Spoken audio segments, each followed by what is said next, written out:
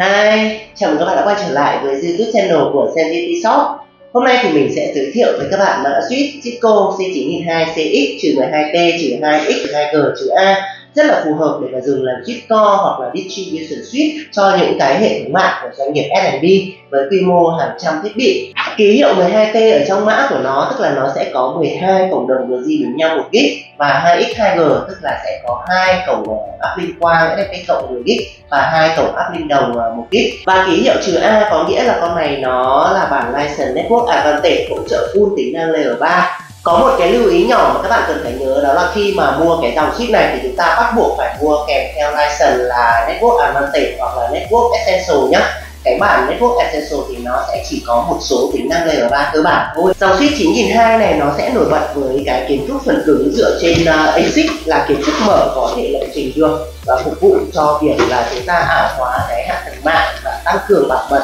điều khiển luồng thông minh và thực hiện phân tích luồng cũng như là hóa tin được tốt hơn. Điều này thì sẽ giúp thiết bị trở nên thông minh linh hoạt, hỗ trợ plug and play tức là cắm hoặc là chạy và chỉ cần cấu hình một lần duy nhất thôi thì cũng sẽ có thể dùng được nhiều lần, tiết kiệm rất là nhiều thời gian cũng như là công sức cho IT. Con chip này thì nó sẽ chạy trên hệ điều hành à, Cisco IOS XE cung cấp API dựa trên các tiêu chuẩn mở như là NetConfer hay là RESTConfer đồng thời thì sẽ tích hợp Zero Touch Provisioning giúp đơn giản hóa cái việc mà chúng ta cấu hình mạng tiết kiệm được rất là nhiều thời gian và tài nguyên cần thiết khi mà thêm những cái thiết bị mới vào trong mạng. Và ngăn ngừa là cái khả năng xảy ra lỗi do con người làm khi mà làm thủ công. Ngoài ra thì à, Cisco iOS XE cũng cung cấp cái khả năng giám sát mạng gần như là theo thời gian thực. Như vậy thì sẽ giúp chúng ta phát hiện và khắc phục sự cố một cách kịp thời và nhanh chóng.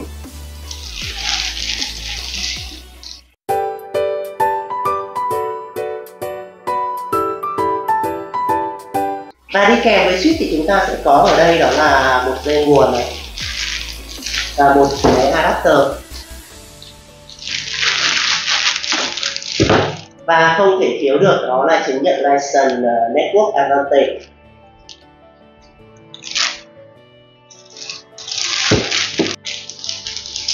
Đây thì là con switch của chúng ta. Các bạn có thể thấy là nó thiết kế rất là nhỏ gọn. Cầm trên tay thì cũng khá là nhẹ thôi mình cần được một tay.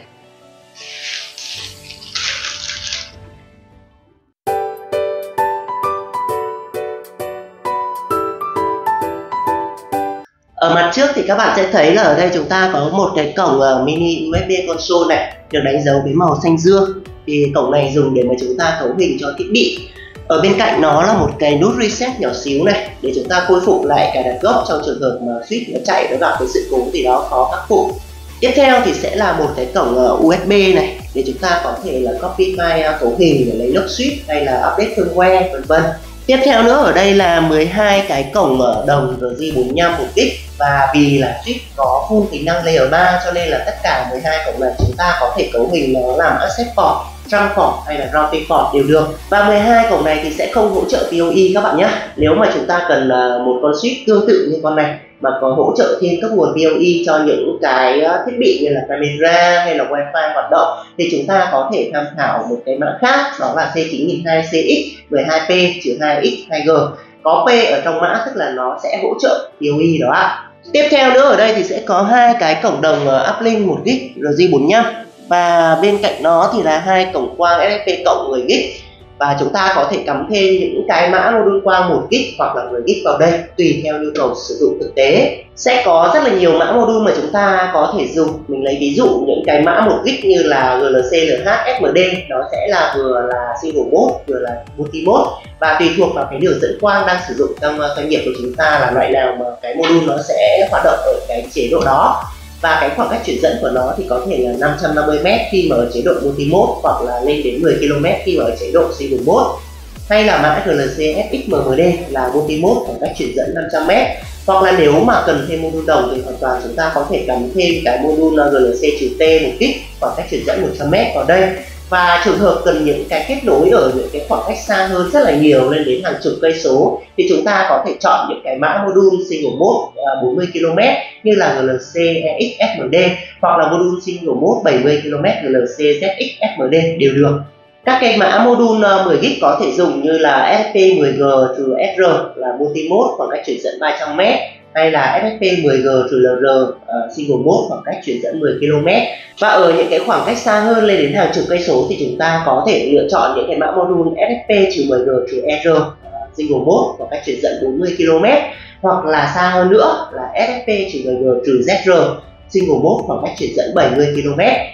Và cuối cùng ở ngoài này sẽ là một cái cổng ờ, RJ45 1 gig chắc là nhiều bạn sẽ thắc mắc là sao tự nhiên lại làm một cái cổng RJ45 1 gig ở ngoài đây mà không gộp chung nó luôn vào đây, đúng không? Thì riêng cái cổng này nó sẽ hỗ trợ nhận nguồn PoE chuẩn 82.3 BT tức là tối đa 60W các bạn nhé. Thì khi mà cần thì chúng ta có thể dùng cái dây LAN để mà nối từ switch PoE hỗ trợ chuẩn 82.3 BT vào cái cổng này. Thì nó sẽ vừa cấp nguồn và vừa cấp mạng cho con switch này nó hoạt động luôn, rất là tiện lợi.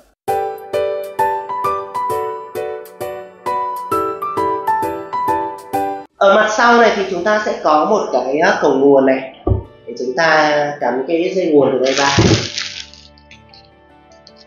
Và con switch này thì sẽ không có quạt làm mát. Và các bạn có thể thấy là nó được thiết kế với rất là nhiều những cái chi tiết thông thoáng như thế này. Thì sẽ giúp cho nó có khả năng là làm mát thụ động trong quá trình mà chạy thì nó sẽ đảm bảo giữ được cái mức nhiệt độ ở cái mức ổn định để mà không làm ảnh hưởng đến điện suất cũng như là gây hư hại cho thiết bị. Và cũng vì không có quạt cho nên là nó sẽ chạy rất là êm và chúng ta hoàn toàn có thể đặt ngay trên ờ, bàn làm việc này không sợ gây ồn ào ảnh hưởng đến mọi người.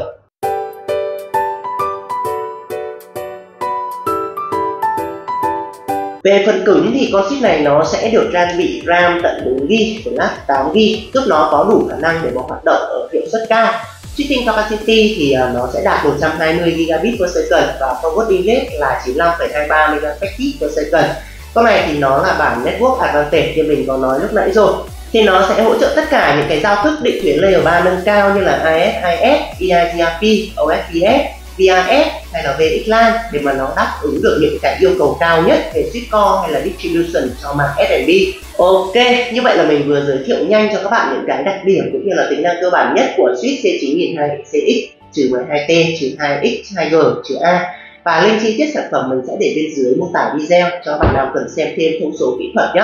và nếu thấy video này hữu ích thì đừng quên ủng hộ CNTT Shop một like, share cũng như là subscribe kênh để nhận thêm những video mới nhất từ bên mình nhé. Cảm ơn các bạn rất nhiều vì đã dành thời gian theo dõi video này. Xin chào và hẹn gặp lại trong những video tiếp theo.